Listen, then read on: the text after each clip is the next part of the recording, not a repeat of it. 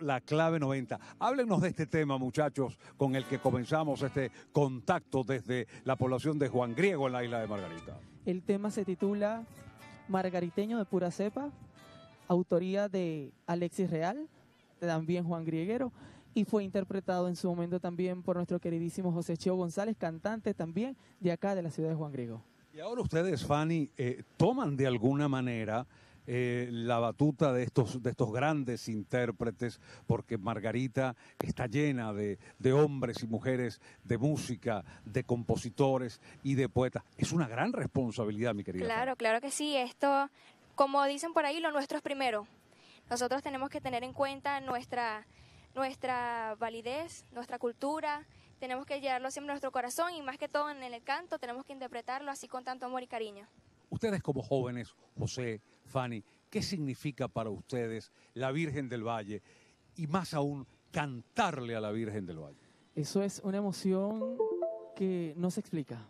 No hay una palabra exacta para eso porque somos eh, margariteños y el margariteño tiene una devoción infinita a la Virgen del Valle y la fe. Y nosotros cantantes, cuando llega el mes de septiembre y tenemos que dedicarle un tema a la Virgen del Valle, se nos eriza la piel, eso, eh, hay un montón de cosas. Es una emoción inexplicable, la verdad, cuando se le canta a nuestra Virgen del Valle.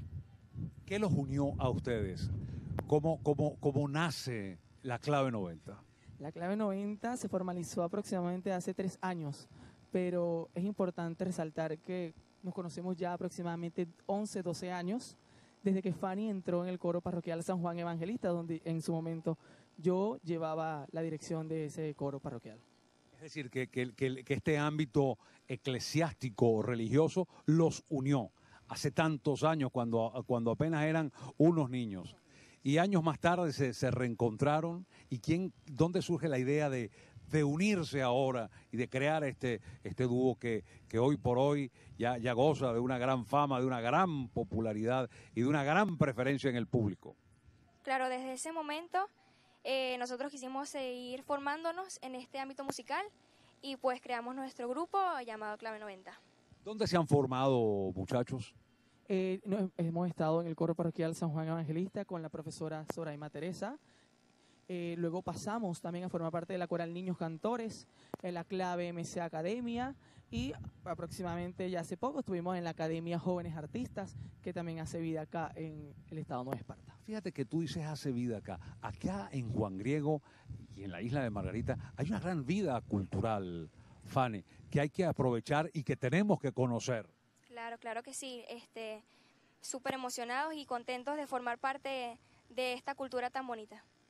Chicos, yo quiero decirles que desde mi alma ya los queremos mucho, los apreciamos mucho y todo ese pueblo y toda esa audiencia que sigue a esta hora a Globovisión les quiere. Y saben que es algo muy importante, los quieren ver y los quieren seguir escuchando. Esas voces tan lindas y tan maravillosas en este dúo La Clave de la 90, que por cierto, esto es una pregunta que no podemos dejar a un lado.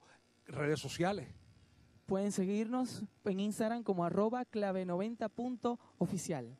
Ahí están más pendientes todos, están, estamos en contacto siempre.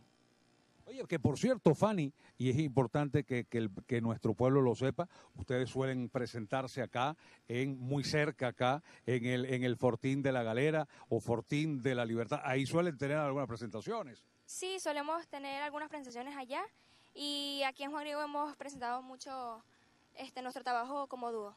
Y tienen, y tienen ahora presentaciones eh, pendientes a, propósito, por cierto, de la celebración de la Virgen del Valle. Sí, el, de hecho yo tengo un coro, una coral, eh, voces crepusculares, y hoy en la tarde estaremos cantando en el Valle del Espíritu Santo para las, vísperas de la solemnidad de nuestra Virgen del Valle. Nosotros vamos, si es lo que el público nos está pidiendo, seguir disfrutando de las voces de la clave 90, José y Fanny, síganlos ahora a través de sus redes sociales. Si no tienen todavía, tienen que tener su canal YouTube para que ahí también sigan sus interpretaciones. ¿Qué nos vas a cantar? Y así vamos a cerrar, atención Caracas, este contacto informativo, los muchachos cantando. Vamos a culminar cantando el tema Desde mi alma, dedicado a la Virgen del Valle, de nuestro maestro Rocky Vicuña. Entonces, música maestro, y nos vamos con esta linda interpretación, la clave 90, estos jóvenes artistas margariteños, José y Fanny.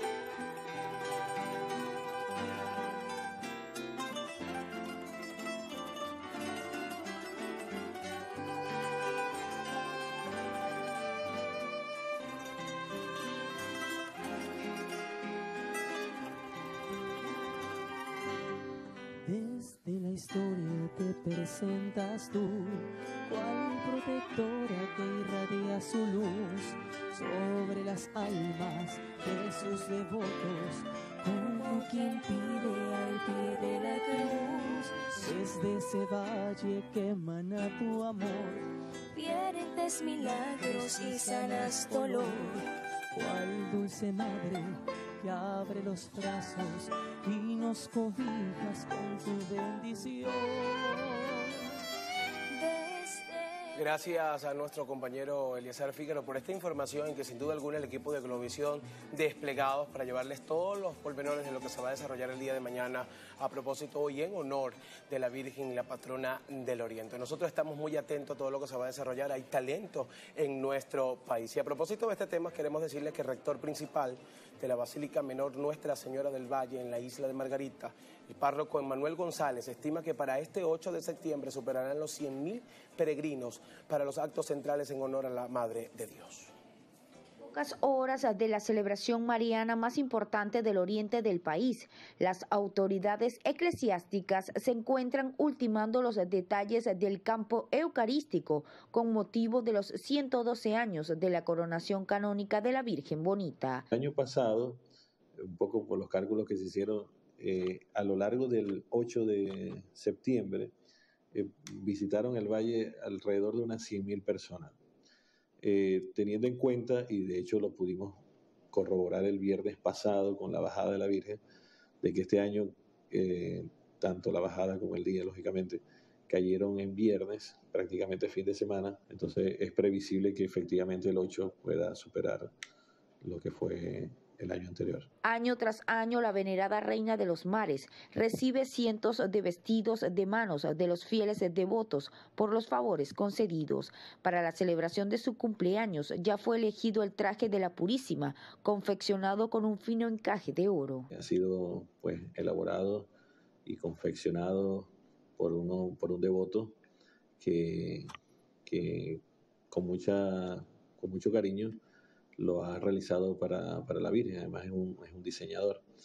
Eh, ahora, en el momento no recuerdo exactamente el nombre, bueno, más bien un estilo un poco eh, diferente, ¿no?